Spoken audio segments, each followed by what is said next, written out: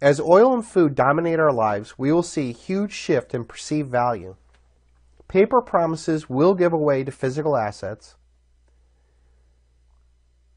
This will be generated as the elite try to print their way out of the crisis or simply try to rob every last dime of that ship that goes down.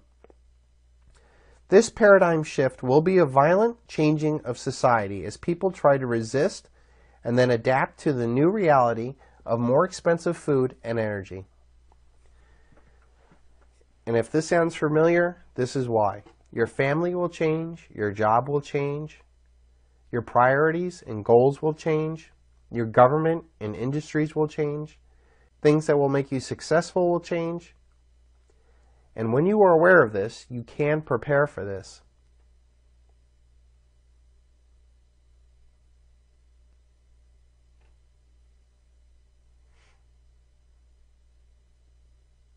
We're starting to bring everything back together how we first started off. I started off with that shocking statement that the American middle class will be destroyed. This is why this is going to happen.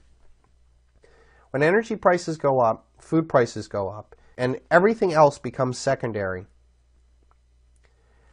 Debt becomes secondary. Bankruptcies, there will be run on banks, bailouts, inflation. Cars will be secondary. There will be no new car sales. Uh, people will fix the old ones or do without. Houses, larger homes will be abandoned or more generations will move in together, which is what I'm experiencing in my family. Consumer electronics, people just won't spend money on gadgets and gadgets as food and energy become much more intensive. Eating out, you know, I predict only high-end restaurants and, and low-end bars will survive.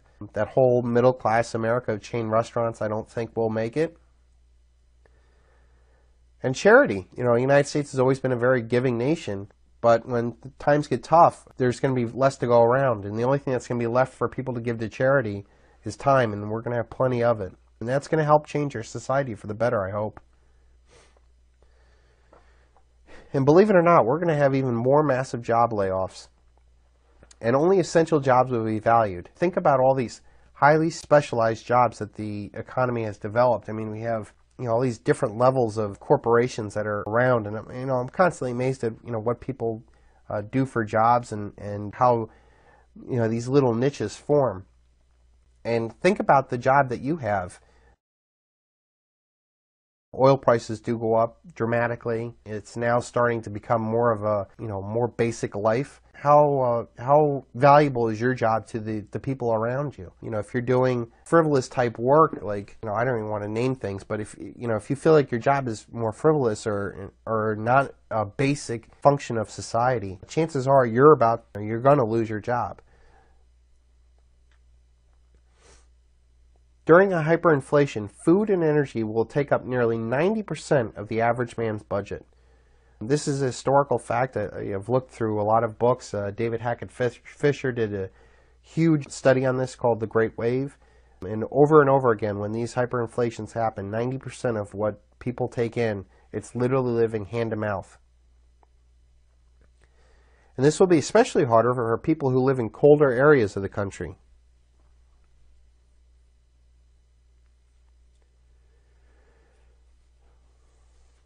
So this is probably the most modern example of uh, Zimbabwe's hyperinflation. And you can see the exchange of paper money to real goods.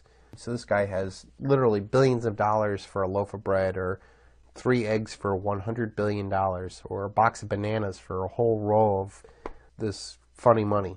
Uh, there's intrinsically at the very bottom no different from Zimbabwe's dollar from any other fiat currency is a paper promise backed by the full faith of a government. And when the government reaches their end, this is what happens.